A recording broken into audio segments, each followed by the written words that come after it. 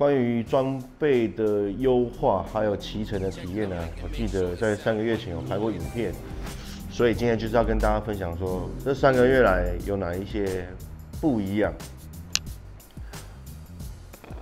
我们一样从车头开始跟大家介绍。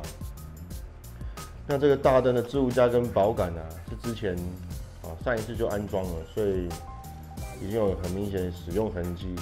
哦，那这个弹力绳，我相信是非常好用的，这个应该也是大家应该都具备在车上的。那原厂大灯不够亮，真的是不行哦。它的角度可以微调，但是它的幅度不大，所以雾灯就是一定要装，不管你要去哪，我觉得要装。那前土图的提升高度我也有装，有个垫高的增高垫片在这个地方。这是原厂胎，等到原厂胎差不多该换的时候，我就会换，就是俗称的那种巧克力胎。哦，车子非常脏，我都没有洗。OK，好，再来呢，侧边看一下，我把贴纸撕掉了。好，等到清洁过后。应该还是会自己设计车贴，然后去做一个简单的彩绘动作。那中间这一块，这一块我不知道叫什么名字。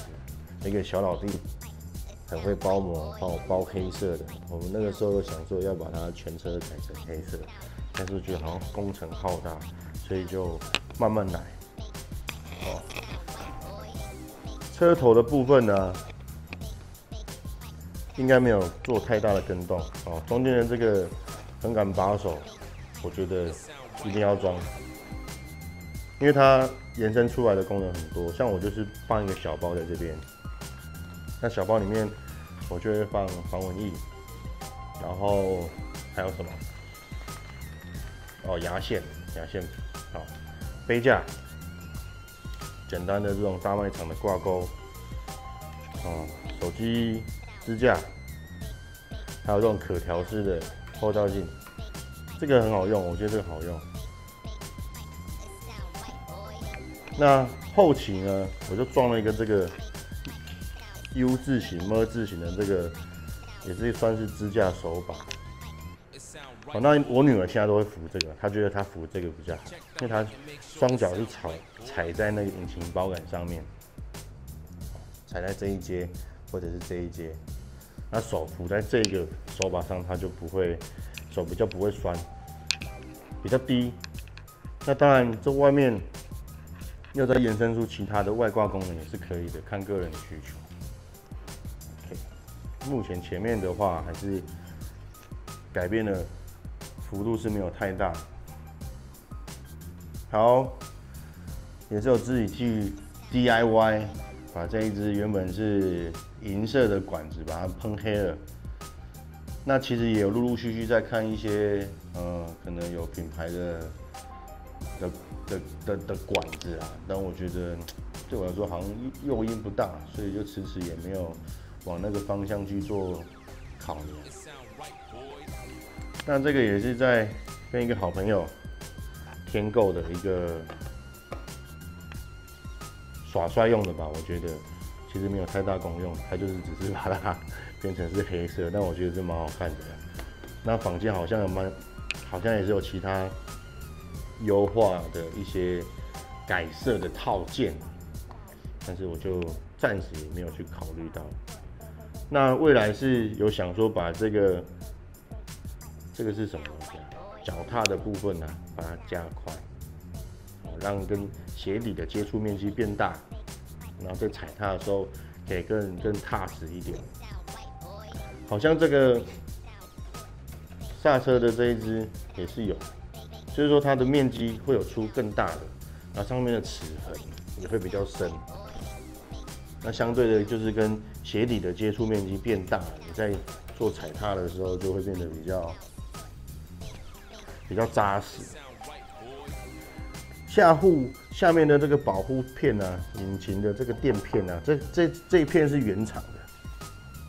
我看数据说这一片大概厚度只有零点七、零点八，但是已经有出到三点四、三点五，甚至四公分的，就是这个厚度，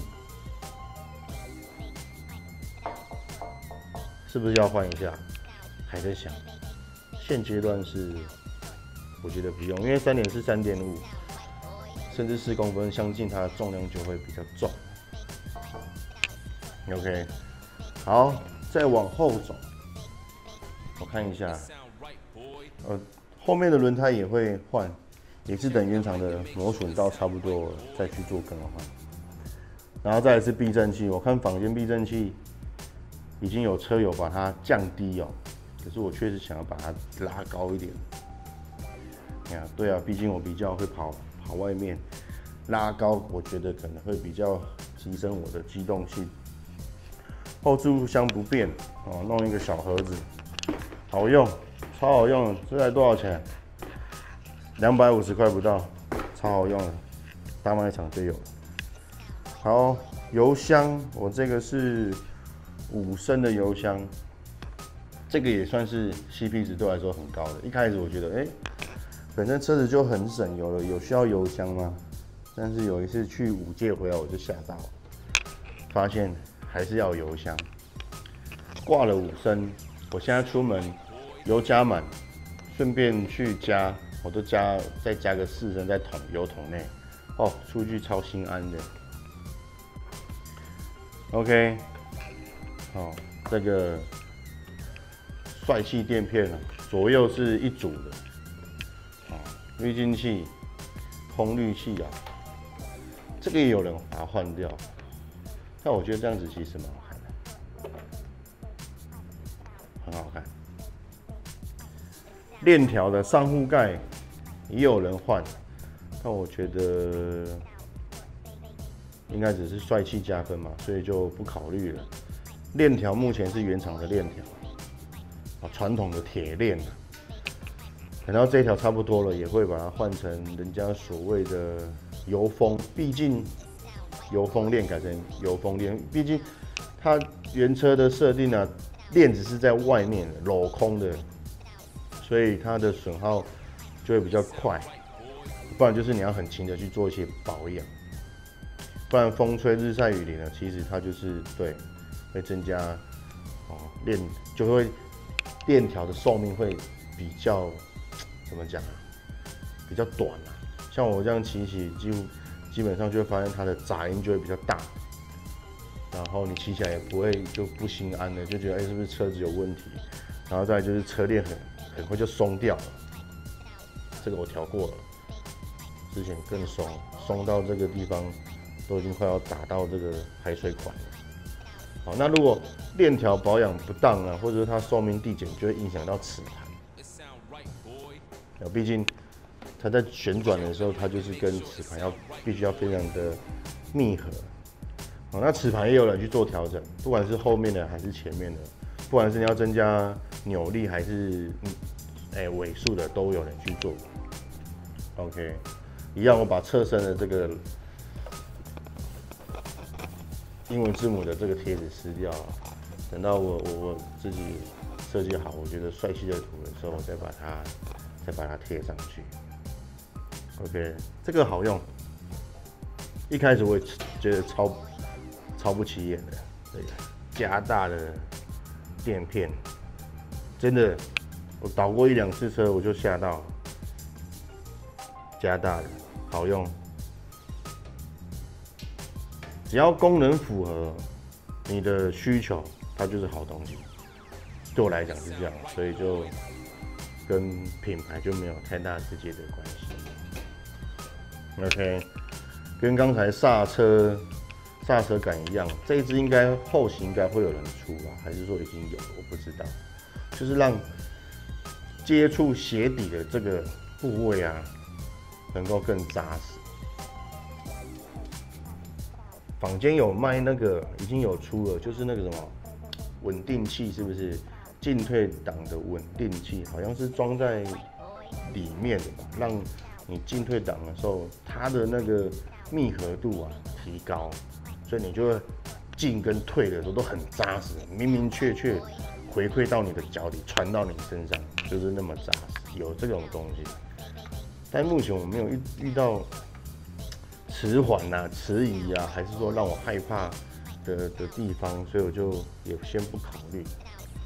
OK，哎，这一颗近期换的黑蛋蛋，它原本是白铁的，但是我黑色控，所以我就把它喷黑了。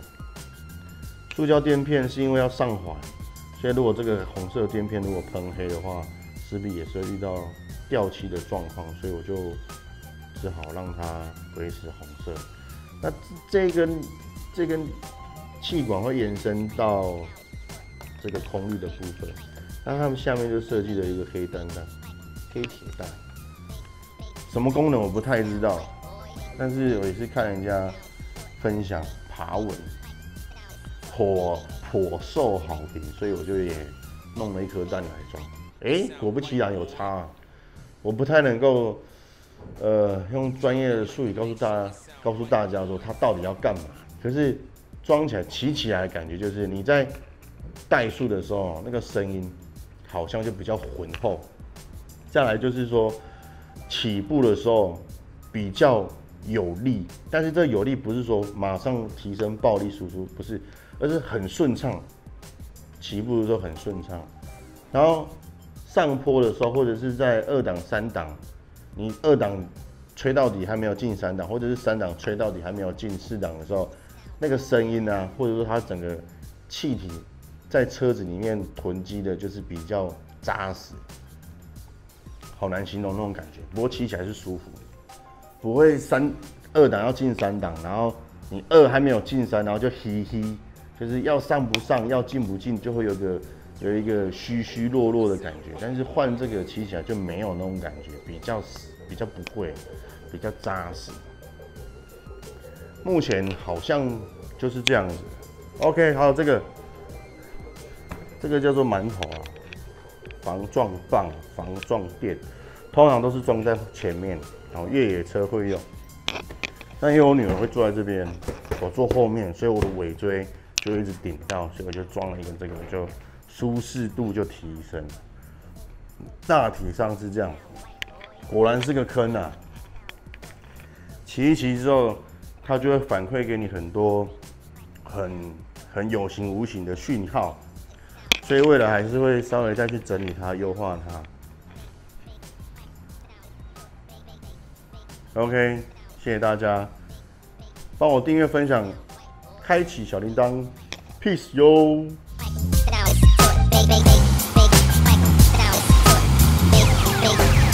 ！It sound white, boy.